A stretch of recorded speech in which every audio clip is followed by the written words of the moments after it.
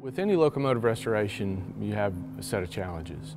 In this particular locomotive restoration, you have a unique set of challenges. This one has been started and stopped a number of times, and it's had work done that was either partially done or not done at all. And what makes that more challenging is that we cannot take anything for granted of what's been done in the past. And it does take a little bit more time just so that we can understand what has been done, what hasn't been done, and what's been done incorrectly. There was a significant amount of work that was done to it, frame and chassis assembly, but there's still a lot to do. It did have an upgrade of roller bearing engine truck, new wheels. We have noted that the valve cages are about to their maximum life as far as their bore is concerned. Likewise with the cylinders, um, that's an unknown. Uh, so we'll pull the pistons out, uh, mic the bores for taper and out around. Also inspecting the pistons, the piston rods, uh, and just the condition of the liner itself.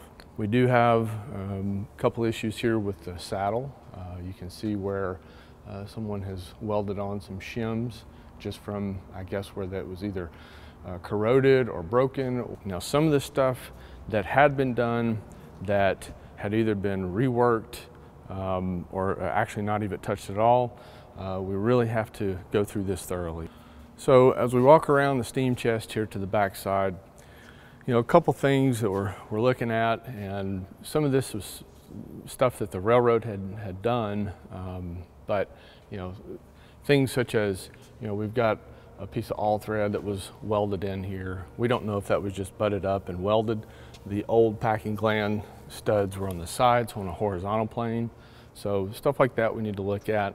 Um, it appears that at some point these crossheads have been babbited somewhat recently. Um, we do, will need to check the alignment of the crosshead guides to the cylinder bore. Uh, so that'll be a part of the process as well. Brake cylinders, we'll look into those and make sure that they're packed and safe and suitable for service for many years to come.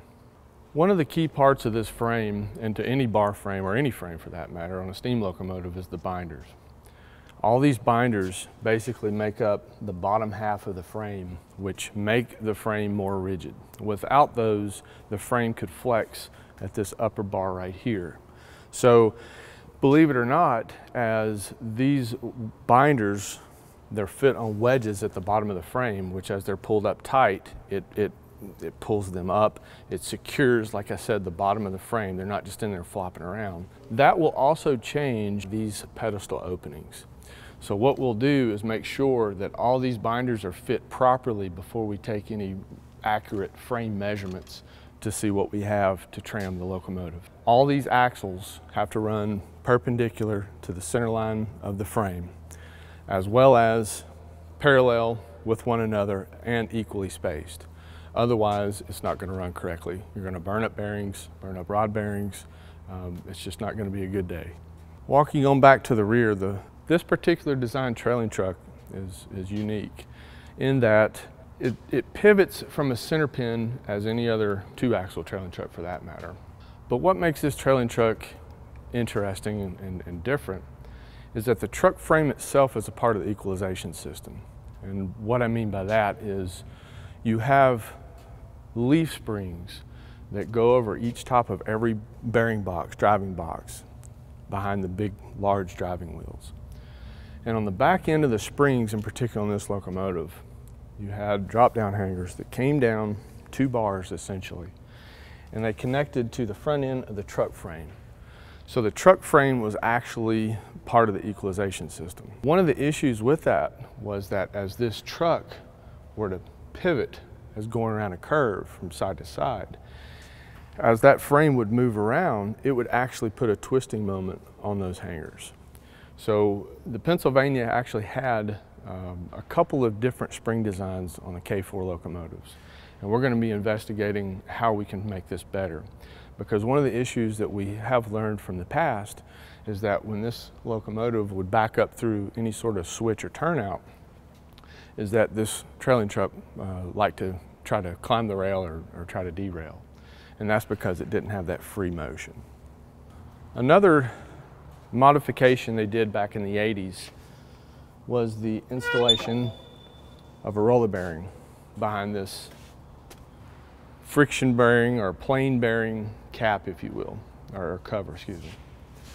So, you know, that's something else that we'll want to look into to make sure that they've allowed the proper amount of movement because with a, pla a plain bearing or friction bearing, some people call them, you actually have the provision for a lot more lateral movement.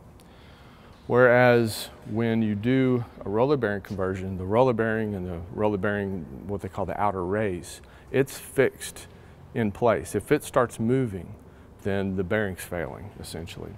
So what we have to do is take measurements to make sure they have allowed enough lateral, free lateral, in between the box and the pedestal liners so that this wheel can actually move a little bit. Because as before, this thing per design had about three quarters of an inch of free lateral, which would also help it negotiate the curves, especially in backing up.